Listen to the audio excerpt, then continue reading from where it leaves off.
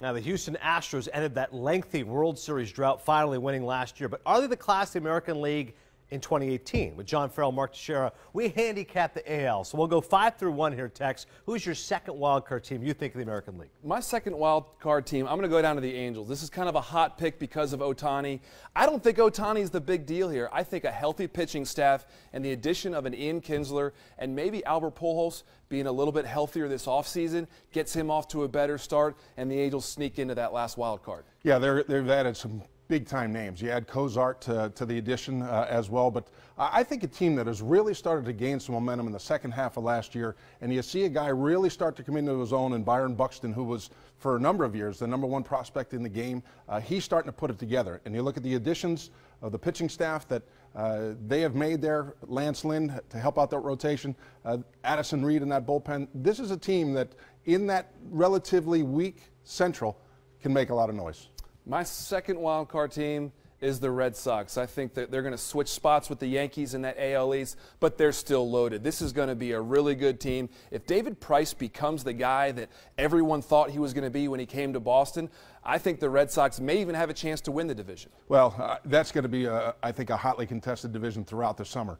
Uh, I'm with you. Uh, in having the Red Sox as the number two wild card or the number one wild card team, JD Martinez addition there puts Mookie Betts probably in the best spot, and that's the leadoff spot for him. But questions about the second half of that rotation, I think, uh, and potential of injuries. When Dustin Pedroia comes back to be the leader that he can be on the field, uh, those are somewhat questions, but uh, I see them in that same spot. Yeah, one of the best teams in all of baseball, the Cleveland Indians heartbreak last year against the Yankees, the division series. But when you have an up the middle in Ramirez and Lindor, and you have Corey Kluber as your ace, their bullpen with Andrew Miller. I mean, these guys can beat you so many different ways. I love the Indians in the Central.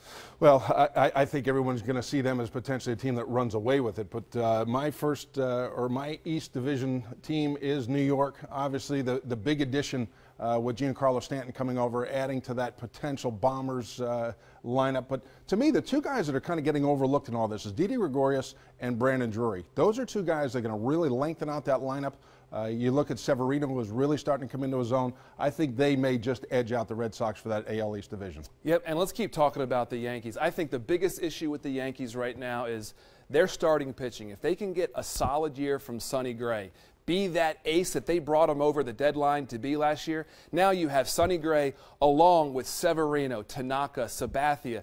This team has a great lineup. They have a great bullpen. If you add Sonny Gray to that mix in the starting rotation, they're going to be really good. Well, and I think it's because of pitching that puts Cleveland ahead of them uh, because of what they've been able to do. As you mentioned, Kluber leading that group. Who knows? Does he run off a third straight AL uh, Cy Young Award? Uh, but Salazar uh, Trevor Bauer, who's really taken a big step forward.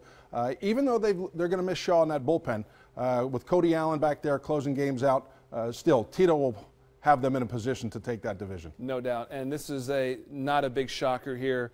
The world champ Houston Astros, they only got better with Gerrit Cole. Their young players are only getting better as well. And I want to look at Charlie Morton as a guy that can go out there and be a Cy Young candidate. That's how good his stuff is. And if you put him up there with Verlander and Keuchel, the Astros could repeat.